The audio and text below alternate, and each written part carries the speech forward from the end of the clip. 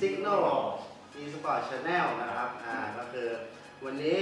อยู่กัน 3 คนนะครับมีสินค้าใหม่มาก็คือเป็นนะโต๊ะเกมมิ่งนะเอครัอบเป็นประเภทใหม่เลยนะครับ เป็นของใหญ่แบบนี้เลยครับในกล่องนี้ก็คือโต๊ะนั่นเองนะครับ เป็นโต๊ะเกมมิ่งที่มีแต่หลายท่านถามหาเยอะมาก มีอะไรอะอ้าวเป็นแบบไหนมีไฟ RGB ด้วยใช่อะมีไฟเอ LED อมีไฟ RGB ด้วยะควัรับนนี้ชื่อว่า GT 100 นะครับอ่าหหรืรืออนะครับชื่อชื่อหนึ่งเรียกว่า Element ครัใช่บเปล่าใช่ครับเออถูกแล้วถูกเอแล้วอโอเคแล้วก็เดี๋ยววันนี้มาสามคนอะแต่ว่าจะมีคนประกอบสนะองครับคคนนประกอบนะก็คือแอดทิกตอกกับแอดเดย์นะครับเป็นคนประกอบนะครับเดี๋ยวแอดจะไปภาคอยู่หลังกล้องนะครับไม่ใช่อะไรหรอกก็คือจะไปถือกล้องนั่นเองนะฮะก็ก็อะเดี๋ยว เดี๋ยวเราจะเอาของจากกล่อง ครับ อะนะครับ ทีนี้ เราก็เอาของออกมาจากกล่องทั้งหมดแล้วนะครับครับก็อยู่บนโต๊ะทั้งหมดนี่แหละนะตัวแรกเป็นอะไรตัวแรกจะเป็นขาโต๊ะครับอ่าเป็นขาเป็นรูปขาตัวแทนโต๊ะเป็นรูปตัวแทนเดี๋ยวเอาไปถุงก่อนนะฮะก็จะเป็นประมาณนี้นะครับมีด้วยกันทั้งหมดสองข้างนะครับนะตัววัสดุเนี่ยทำจากเหล็กนะครับเหล็กอย่างดีเลยแล้วก็พ่นด้วยสีดำครับนะด้านข้างนี่เป็น สติกเกอร์นะครับมีเขียนไว้ Signal eSport เนี่ยครับมี R Ultimate Gaming Gear ด้วย เออนะข้าข้างงล่าล่างงเลเลยยข้างล่างก็จะมีขีดสีแดงด้วยนะแอดบอยอืมในส่วนที่เป็นข้างล่างนะครับ มันจะมีตัวขีดสีแดงตรงนี้นะครับ ให้ดูอย่างนี้นะ อ่า ทีนี้ก็อะเก็บไปก่อนอันนี้เอออะต่อไปนะฮะก็จะ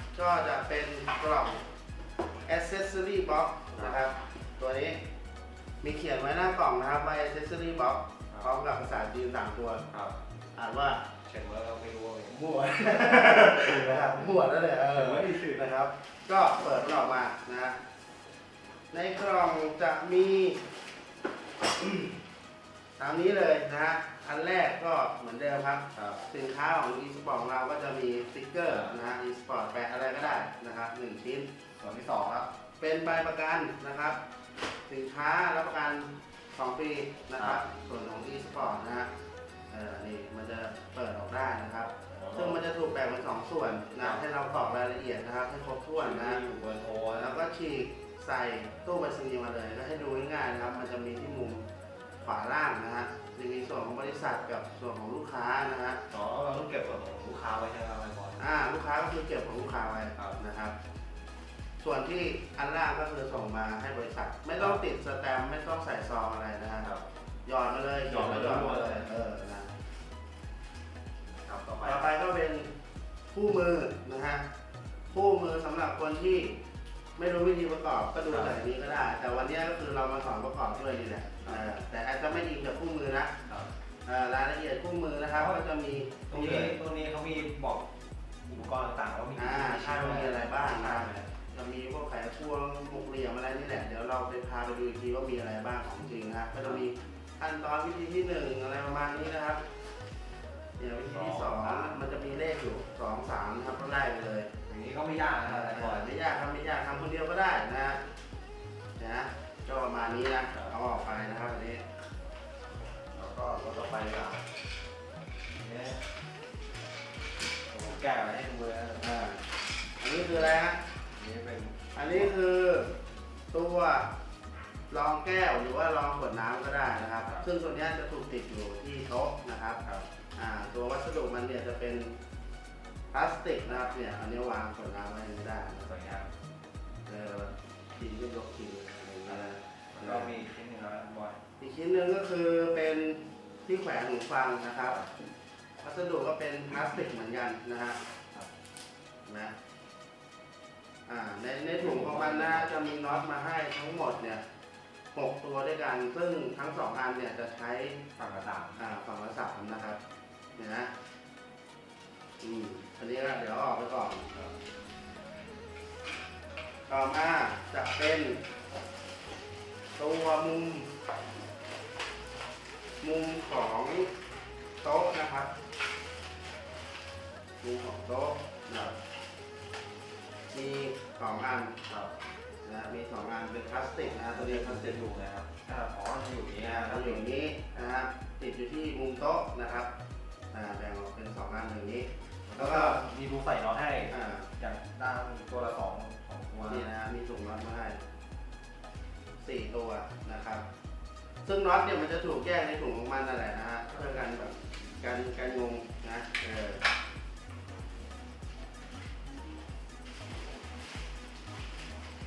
ตัวต่อไปนะครับ อันนี้จะเป็นตัวขอบข้างตัวข้างนะครับ ตัวขอบของโต๊ะนะครับ จะมี 2 อันด้วยกันนะครับ ซึ่งอันนึงเนี่ยมันจะเป็นตัวปรับโหมดไฟด้วยนะครับ ซึ่งอย่างที่บอกไปก่อนต้นคลิปนะ ก้าอี้เราเนี่ยเอ้ยไม่ใช่เก้าอี้โต๊ะออกครับคือมันจะมีไฟ RGB ด้วยครับเออให้เนี่ยให้สังเกตง่ายๆก็คือจะมีรูปอ่าตรงนี้จะเป็นตัวปรับเปลี่ยนโหมดไฟนะครับ ซึ่งเป็นระบบทัชสกรีนด้วยโอ้โหไอ้จิอ่าครับนะครับเออเป็นทัชสกรีนด้วยว่ะนะ ลองนะ จุดที่ไฟออกนะครับก็คือจุดนี้นะกับตรงนี้นิดนึงนะฮะเดี๋ยวเป็นไฟเป็นไง เดี๋ยวรอตอนประกอบจะเสียบไฟให้ดูนะผม ถามเลยมันมีสายนี่มานี่เสียบแบบใต้โต๊ะข้างล่างอ่าใช่สายนี้เอาไว้เสียบใต้โต๊ะนะครับอ่าเดี๋ยวจะพาไปดูว่าต้องเสียบยังไงนะฮะแล้วก็มีถุงน็อตมาหนึ่งถุงนะครับประมาณสี่ตัวน็อตมันก็จะอยู่ในถุงมันเลยนะครับ ก็ใส่ดู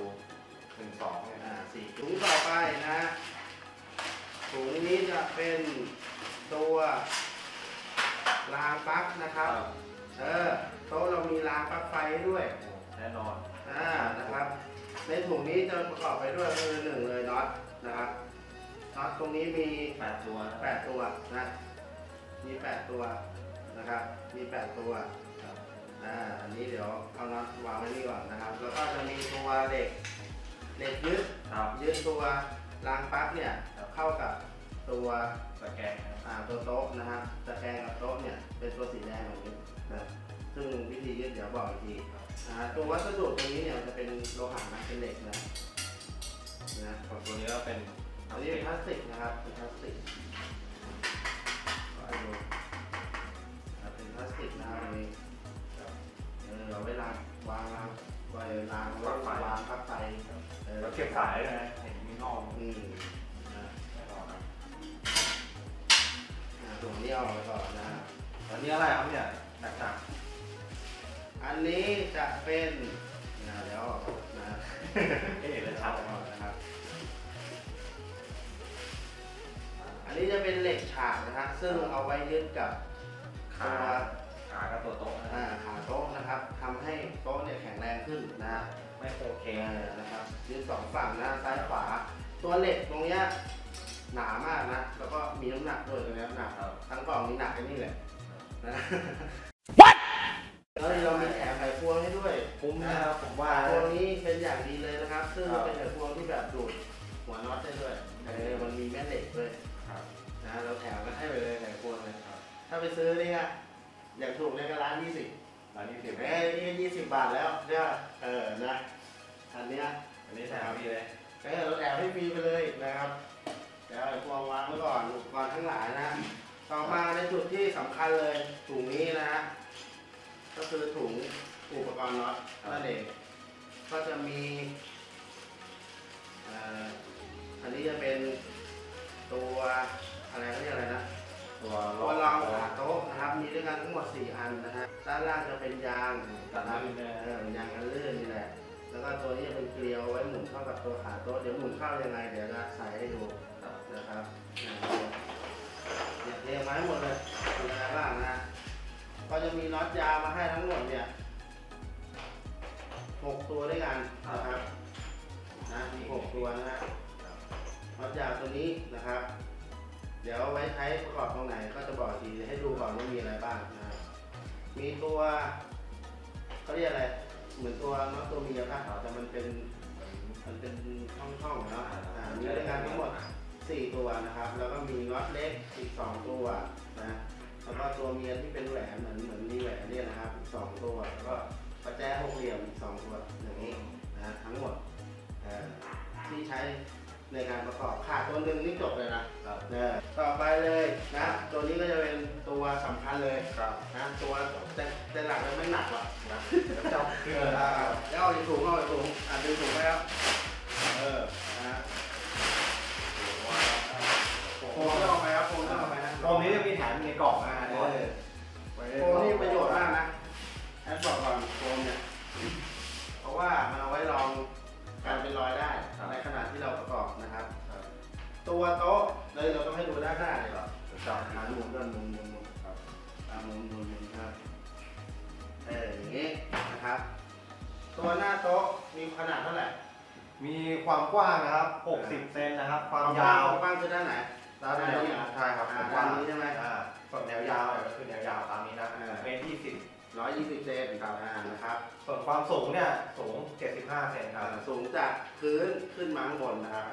งจากที่เราประกอบแล้วนะใช่ไหมครับเจ็ดสิบห้าเนี่ยอ่านะครับตัวแผ่นไม้เนี่ยเป็นไม้อัด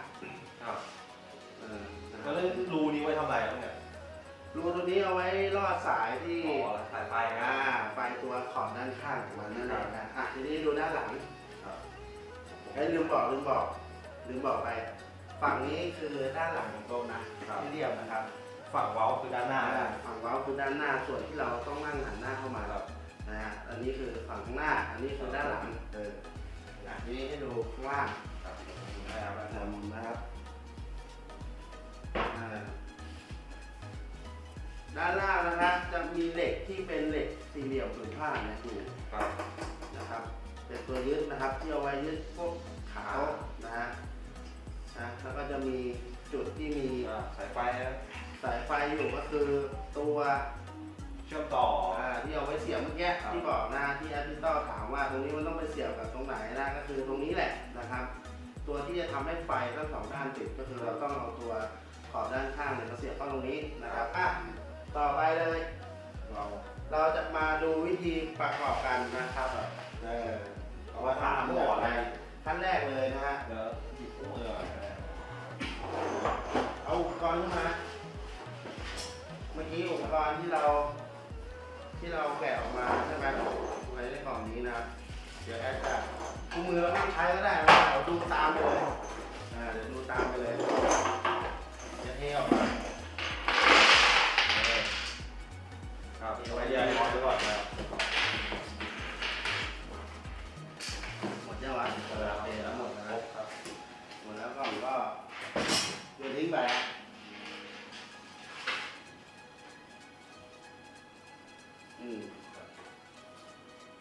วิธีใส่ใส่ไง ก็คือเอาด้านที่มีขอบสีแดงนะครับอ่าเข้าหาตัวเรา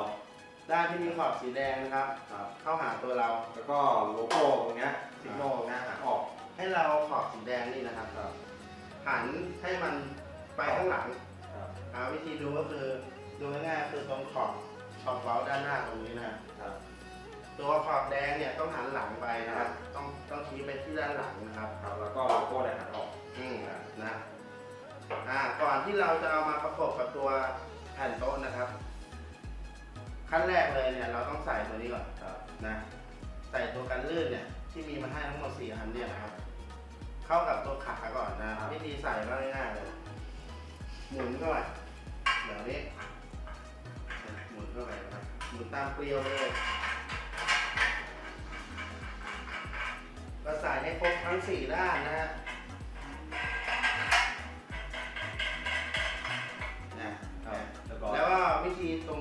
มันสามารถที่จะปรับความสูงได้ครับเอ่อโดยการคลายออกนิดนึงอะไรแบบนี้นะครับ แต่แนะนำว่าให้หายสุดก่อนครับแล้วค่อยมาปรับทีหลังเออมันก็ปรับได้ไม่สูงเท่าไหร่หรอกจากตรงเนี้ยแนะนำว่าก็ให้แน่นเลยแหละดีกว่านะครับ อืมทีนี้เราก็เอามาประกบครับประกบเข้ากับตัวโต๊ะนะ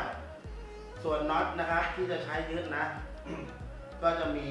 มีตัวไหนนะก่อนยาวครับอันนี้ตรงนี้ ก็คือน็อตตัวเมียที่เป็นสีเงินแบบนี้นะครับ อันนี้คือหนึ่งชุดครับนะ อันนี้คือหนึ่งชุดนะครับ ซึ่งเราจะต้องเอามาประกบเข้ากับตัวรูที่อยู่ตรงนี้นะฮะรูที่อยู่ตรงนี้ไม่ได้ครับฝั่งนอกฝั่งนอกเนี่ยเออเออเออเออฝั่งนอกนะฮะตรงนี้นะครับ เราจะประกอบประกอบเข้าก็คือเราให้ให้เราใช้น็อตเนี่ยนะฮะน็อตยาวตรงนี้นะครับ ใส่เข้าไป ใส่ส่เข้าไปก่อน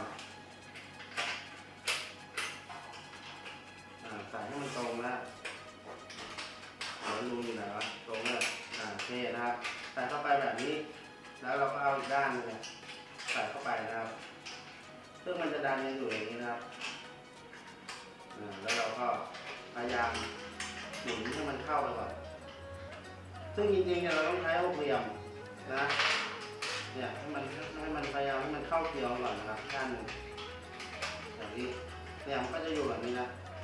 แล้วเราก็ใช้หกเหลี่ยมนะครับ ที่เขาแถมมาสองอันเนี่ย ก็ทีนี้หลายท่านอาจจะสงสัยว่าทำไมต้องให้มาสองอันเนี่ยฮะก็เพราะว่าเอาไว้ทำอย่างนี้ด้านหนึ่งใช่ไหมใส่ไว้นะครับด้านหนึ่ง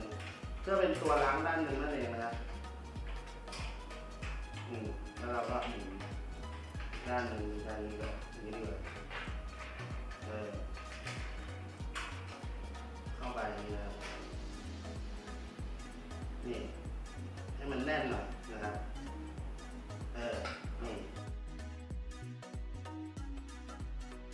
อ่านะครับ หลังจากที่เราไขครบทั้งสี่ด้านแล้วเนี่ยครับจนแน่นแล้วนะครับ แนะนำว่าให้ไขให้แน่นครับนะขั้นตอนต่อไปก็คือการใส่เหล็กฉากครับอ่าเหล็กฉากคือตัวอะไรนี่นี่นี่อยู่ไหนไหนเออคุณได้กระเป๋านะฮะเดี๋ยวก็ก็คือเราจะต้องเอาเหล็กฉากตรงเนี้ยครับมายึดเข้ากับขาและตัวแผ่นโต๊ะนะครับ ถ้าเราไม่ยึดเนี่ยดูนะเห็นไหมอ่าโอเคครับมันโยกนะครับมันโยกได้อย่างมันเลยอะครับเออนะฮะ ก็ให้เราเอาตัวเหล็กแรงๆนี่นะครับครับ มาประกบเข้ากับตัวเหล็กเหล็กเนี่ยครับเหล็กโครงของตัวแผ่นโต๊ะนะครับทีนี้นะฮะให้เราใช้น็อตตัวยาวนะครับ กับตัวไอตัวแหวนนะตัวตัวน็อตตัวเมียนะที่เป็นแหวนนะนะฮะครับเห็นไหมนะอย่างเนี้ยนะฮะให้เราใส่เข้าไปนะครับไอตัวตรงนี้นะฮะใช้ตรงนี้ ต้องบอกอะครับใช้ด้านนี้ วิธีใส่เหมือนเดิม เอาน็อตดำไว้ข้างนอก เดี๋ยวเอาจับอ่านะครับใส่ให้มันทิ่มออกมาอย่างนี้นะฮะทิ่มออกมาอย่างนี้ล็อกนะเออนะครับ แล้วเราก็เอาตัวแหวนเนี่ยฮะแหวนตัวสีทองทองๆเนี่ยแหละใส่ไว้ตรงนี้นะฮะแล้วก็หมุนเข้าไปก่อนให้มันอยู่อยู่เกลียวก่อนนะครับครับเออแบบนี้นะ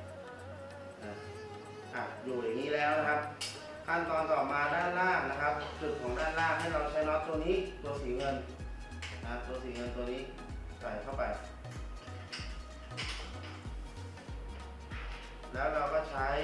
ตัวประแจหกเหลี่ยมนะฮะหกเหลี่ยมตัวเดิมนะฮะซึ่งทีเนี้ยมีมาสองอัน ถ้ามีคนช่วยก็แบ่งให้เพื่อนไปอันหนึ่งนะครับอ่าจะใช้ตัวเดียวนะครับหมุนเข้าไป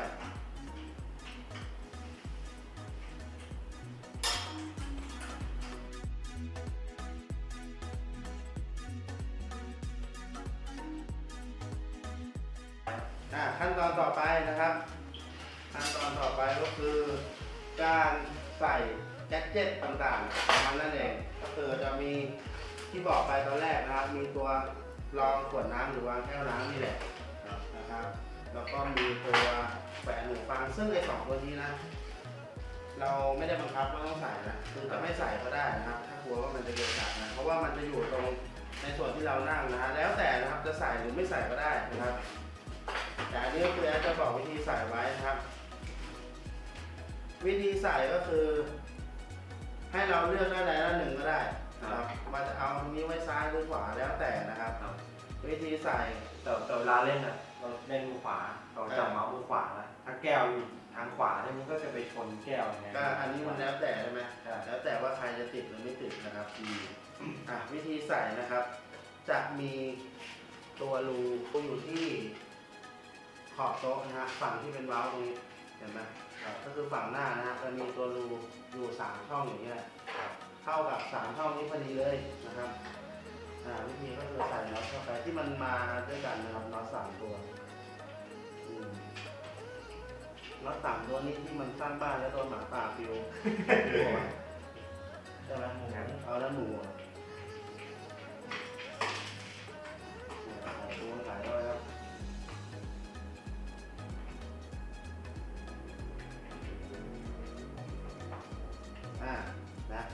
อยู่ตัวหนึงนี่ก็ง่ายแล้วนะครับง่ายๆเลย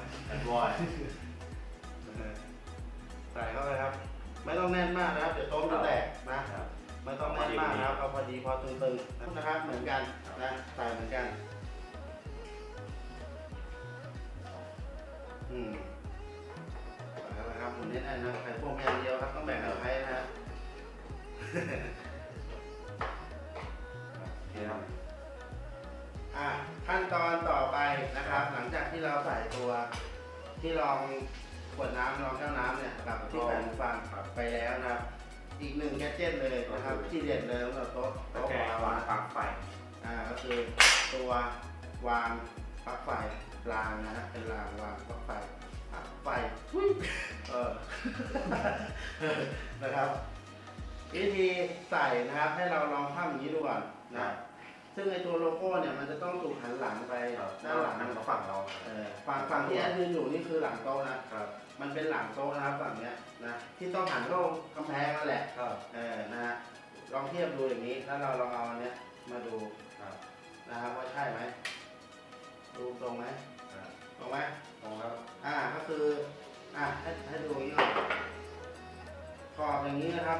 ต้องอยู่ตามด้านด้านนอกใช่ไหมเนี่ยตัวเนี้ยต้องอยู่ด้านนอกนะครับ ส่วนรางเนี่ยจะอยู่เหมือนเหมือนว่ามันบีบเข้ามาเออด้านในอย่างนี้นะครับ อ่าทีนี้เราก็เอามาใส่ครับอ่าใส่ตรงเนี้ยมันจะเป็นเขี้ยวนะครับ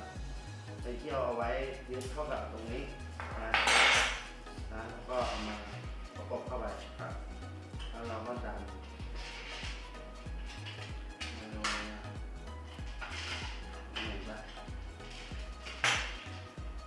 ด้านในนะครับของมันจะมีรูให้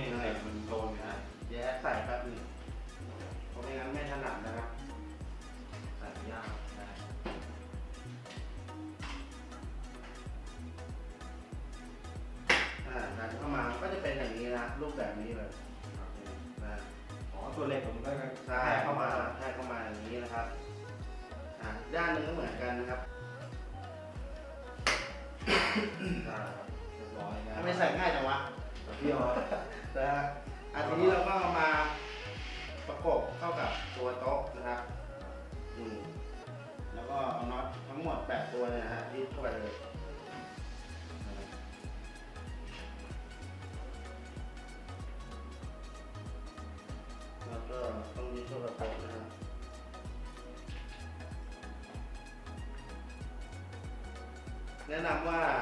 อันนี้เป็นข้อแนะนำจากแอนนะครับแล้วก็โต๊ะนี้อย่าไว้เล็กนะเพราะไม่หยิบน็อตยากมากเลยนะครับตอน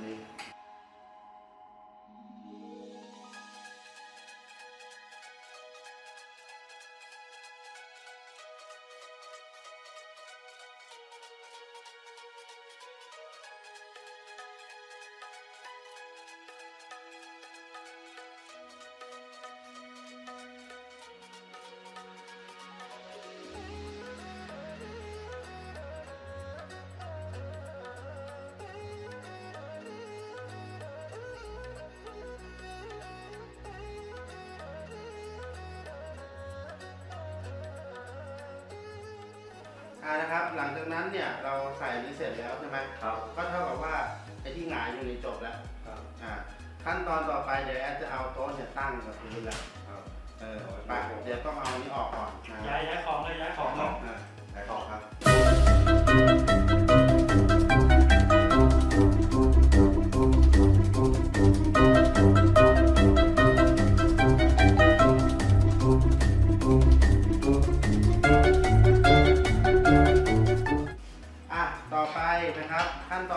เลยก็คือ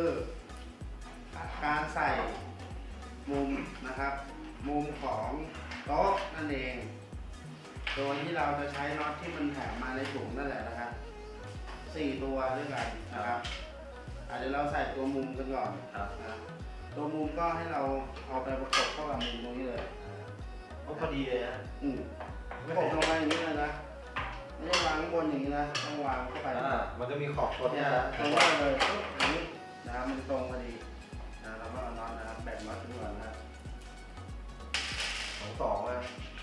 นะครับเป็นน็อตอย่างนี้นะ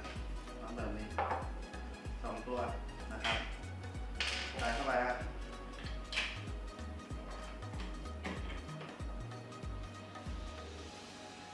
เอาตัวโม่นะเอาไปเออนะไม่ต้องแน่นมากนะครับ พอตึงๆ เดี๋ยวโต๊ะแตกนะครับ ขอบตัวนี้นี่เหมือนเป็นตัวกันกันกระแทกได้เลยนะใช่ครับเพราะว่ามันต้องวางเข้ากับกำแพงถูกไหมครับ เออนะครับขั้นตอนต่อไปเลยนะครับ ก็คือการใส่ตัวขอบครับเขาแล้วเรียกก็อะไรไฟนะทีวีด้านข้างนะครับด้านข้างของโต๊ะนั่นเองนะครับ ซึ่งซ้ายกับขวาดูยังไง ดูยังไงครับอ้าวดูยังไงครับ นี่ครับ ดูตรงนี้ว่ามันจะมีข้อต่อ เออ ตรงขอบบนนะครับ คือคือมันจะเป็นรูปของมันนั่นแหละครับนะครับซ้ายหรือขวาซึ่งซึ่งเอาฝั่งซ้ายไปใส่ขวามันก็ไม่ได้แล้ว ถ้าไปใส่มันจะเป็นอย่างนี้อ่ามันจะไม่ใช่นะฮะเท่เดียวเออนะครับมันต้องมาใส่ด้านนี้เนี่ยมันจะเข้ากับรอยพอดีนะครับครับใช่ไหมเราลองวางเทียบดูก่อนก็ได้นะครับครับอ่าก็ให้เราเนี่ยเอาสายนะครับหย่อนลงไปหย่อนเข้าไปในรูตรงนี้นะฮะลอดลงไปนะครับ ส่วนอันนี้นะ เราต้องเข้าไปใต้เหล็กอีกทีหนึงเข้ามาตรงนี้นะครับลอดเข้าไปตรงเหล็กตรงนี้นะติดอะไรครับเนี่ยได้แล้วครับดึงเลยครับเออนะแล้วก็ดึงไปให้สุดครับมันก็จะชิดกับตัวขอบโต๊ะพอดีโอเค เสร็จแล้วนะฮะก็ต้องเอาเนี่ยฮะปลั๊กไฟที่ยื่นออกมาเนี่ยนะครับอืมต่อกับ สายไฟที่มันติดอยู่กับโต๊ะมาตั้งแต่แรกเออก็มืใส่อเข้าไปอ้วนเหลือเกิน เออเห็นไหมอ่าเห็นปุ๊บเห็นนะครับโออย่างเคนี้เท่ากับว่าเราต่อไฟเรียบร้อยนะครับ อ่านี่เดี๋ยวก็อืมเก็บสายตามสภาพ เออหรือจะปล่อยไว้อย่างนี้ก็ได้นะครับ แล้วแต่ มันไม่ได้เกะกะอยู่แล้วนะครับ เอออีกอีกฝั่งหนึ่งก็เช่นกันนะครับทำเหมือนกันสองฝั่ง นะแล้วเราก็มาดึงปั๊มด้านบน A few moments later. เท่านี้ก็เป็นอันจบพิธีนะครับ หมดแล้วครับเนี่ยเราใส่หมดทุกอย่างแล้ว ถ้าเอ่อช่วงสุดท้ายเลยของเรานี่ก็คือการเดี๋ยวเราจะพาไปดูไฟไฟใช่ไหมว่าเป็นยังไงอะตอนนี้นี่เราเราก็ระบบไฟสวยมากนะเราดูโต๊ะกันก่อนว่าเป็นยังไงบ้าง อ่านะครับ ทีนี้เราก็จะมาดูกันในส่วนสุดท้ายก็คือส่วนของโหมดไฟอ่าโหมดไฟของมันนั่นเองอย่างที่บอกไปว่ามันเป็น RGB เอ่ครับอเป็นไฟแบบ RGB Rainbow ด้วย แล้วมาดูว่ามันเป็นยังไงปรับได้ปรับได้ที่โหมดอะไรเลยปรับที่คีย์บอร์ดอะ แปลนะเออ เออปรับเอง ถามเองตอบเองก็รู้ถามทำไมวะเออเออนะ ทีนี้เนี่ย เดี๋ยวแอดจะใช้ไฟจากตัว power bank นะครับ ซึ่งจริงๆเนี่ย เพื่อนๆเนี่ยสามารถใช้ไฟต่อ PC เอ่อต่อจากเครื่อง PC เครื่องคอมได้นะครับเพราะว่าคอมเพื่อนๆนี่ก็อาจจะวางอยู่ข้างบนนะฮะครับ เอ่อหรือข้างล่างหรือตรงไหนก็แล้วแต่แหละมันไปเสียบได้นะครับ ครับ แต่ทีนี้เราไม่มีคอมเราก็จะใช้อันนี้นะครับก็เสียบเข้าไปจะระเบิดนะครับเอาไปเสียบเข้าไปเนี่ยก็คือไฟติดเลยครับอะก็แน่นอนไฟติดอย่างนี้เลยนะทีนี้ไฟในห้องสว่างมากนะครับ เราจะเอา อันทีนี้มงานเดี๋ยวรเราถแต่งแล้วเราไฟเนะ ฮะอืมมือเติบไปเลยครับ อ่าเปิดเบาๆพอครับ อันนี้คือที่เห็นอยู่เนี่ยจะเป็นในส่วนของโหมดแรกครับ นะโหมดแรกก็จะเป็นแบบแบบวนนะอ่าแบบว่าลุงลุงวิ่งวิ่งๆไปนะเรนโบนะฮะเรนโบอะไรประมาณนี้นะครับ อ่าวิธีเปลี่ยนโหมดไฟเลยก็คือนี่ฮะตรงนี้ครับเป็นสัญลักษณ์แบบนี่แหละแต่ที่ที่กล่าวมาข้างตัวนี้เป็นทัชสกรีนนะเออเป็นทัชสกรีนด้วยนะฮะเนี่ยแต่ ไม่ติดนะครับแตะอีกทีนี่อย่างนี้ต้องแตะดีๆ เออเราแตะเบาๆมันจะไม่ติดนะครับ นะ อืมหมวดที่สองครับ เป็นสีแรงอ่าสีแดงด้วยนะสีแดงนะครับ อ่าหมวดที่สามสีฟ้าเออนะนะครับ สีเขียวนะครับ แล้วก็สีม่วงอืมอันนี้สีฟ้านะฮะอ่า แล้วก็เป็นแบบไฟเอ่อที่มันวิ่งเป็นเออนั่นแหละนะครับเป็นไฟวิ่งวนสีไปนะครับมีนี่กูวิ่งแบบเร็วอ่าอันนี้จะเป็นแบบขึ้นเชิญติดเอ่าเป็นเซอร์ติสแบบต่อสีไปครับนะอืมต่อสีไปนะครับในกล้องยังไม่ค่อยเห็นเท่าไหร่อ่ามันก็เห็นอยู่ครับ เดี๋ยวไปแต่งสีเอาก็ได้ครับเออ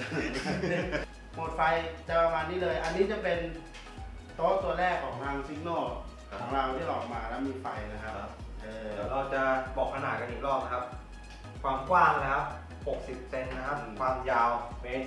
20 ความสูง 75 เซนเท่านั้นนะครับ เออ เป็นมาตรฐานเลยนะครับอันนี้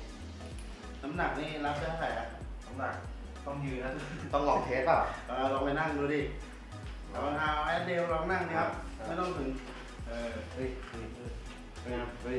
เฮ้ยมันได้ว่ะ ได้เฮ้ย ผมหนักผมหนักเอ่อ75เจ็ดสิบห้าเนี่ยหนักแปดห้าแปดสิบห้าที่บวกกันไปเท่าไหร่ชูขาให้เขาให้ดูเดี๋ยวนะเออเนี่ยนะนั่งขึ้นข้างบนกันเลยนี่จริงๆเนี่ยถ้าถ้าที่เหลือแอดก็จะขึ้นไปนั่งด้วยเนี่ยเฮ้ยดูนะ โอเคไม่โยกนะสภาพหลังโยกไปชายมันไม่โยกนะเนี่ยเนี่ยดูดินะครับ